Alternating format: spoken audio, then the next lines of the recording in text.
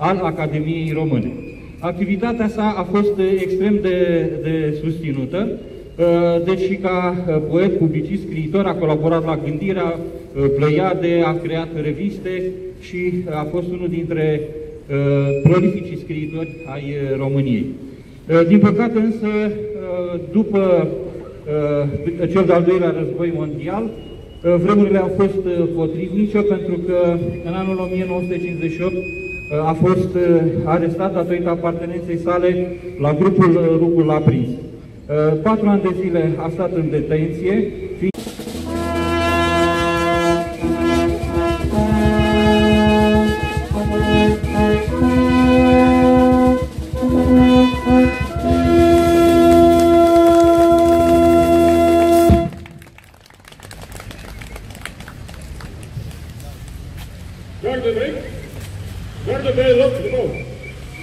Iar serviciul religios. Guarde drept, descoperit. Gardă pe loc.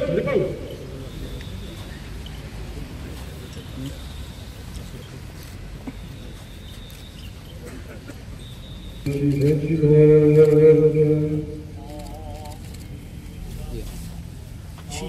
Tatăl nostru care ești în ceruri, sfințească-te numele Tău, fie împărăția Ta, face-te voia Ta, precum în cer, așa și precum Pâinea noastră cea de toate zilele, dă-ne nouă astăzi și ne iartă nouă greșealele noastre, precum și noi iertăm greșiților noștri. Și nu ne duce pre noi în ispită, ci ne izbăvește de cel rău. Vecii vecilor.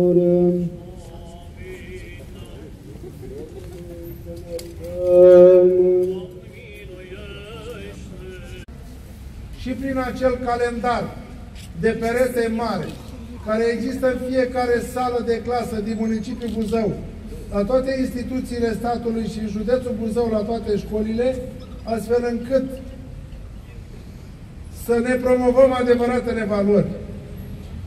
Și în acest an și în anii viitori vom face eforturi să scoatem în față elita acestui neam plecată de la Buzău.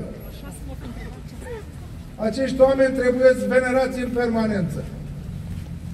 Ieri am vorbit cu nepotul domnului Vasile Voiculescu, Andrei Voiculescu, care din păcate, din motive de sănătate, n-a putut veni aici, dar care se bucură foarte mult că își mai aduce cineva aminte de Vasile Voiculescu la el acasă. Dragi elevi, aceste mesaje sunt în primul rând pentru voi, pentru că voi trebuie să duceți mai departe istoria neamului. Este foarte important să simțiți că sunteți români, pentru că este foarte important acest lucru pentru a fi mai puternici, pentru a avea încredere în noi, pentru că fără încredere nu se poate realiza nimic. Pentru că ne apropiem de Crăciun, vă doresc un Crăciun fericit și un an 2019 excepțional. Vă mulțumesc foarte mult.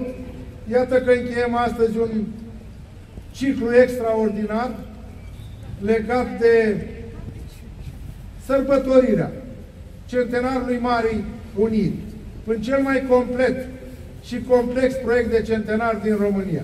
Vă mulțumesc mult! Pentru cuvântul prezentat. Distinși invitați și participanți, ceremonia militară și religioasă de astăzi se Așa este între singurii bani care i-am primit anul ăsta, dar iată am început iarna, terminăm iarna, mă gândesc la 27 martie 2018 când am inaugurat uh, statuia marului patriot român uh, Alexandru Marghiloman, cel care a făcut posibilă unirea cu uh, Basarabia din partea română și iată încheiem acum în decembrie, înainte de Crăciun, cu acest moment extraordinar respectiv uh, inaugurarea unui statui al lui Vasile Voiculescu, de asemenea un mare patriot român, care lupta cu arma în mână. În primul război mondial a fost de asemenea uh, spitalul, directorul spitalului militar din uh, Bârlat, care a vindecat atunci foarte mulți soldați români luptători la Mărăș, Mărăști, Mărășești Oitus și este un lucru important pentru noi ca buzoieni să ne promovăm valorile. Memoria colectivă buzoiană, iată că se materializează aici în acest uh, parc care va purta de astăzi numele de Vasile Voiculescu. Deci am dat și această statuie, dar am dat și acest parc lui Vasile Voiculescu pentru ca tânăra generație, măcar când vine la întâlniri în zona aici, să citească ceea ce scrie pe acest uh, monument și să-i citească și să fie primul pas uh, spre a-i citi această operă absolut extraordinară pe care a scris-o Vasile Voiculescu. Ne puteți da câteva detalii tehnice despre această statuie, de cine a făcut-o?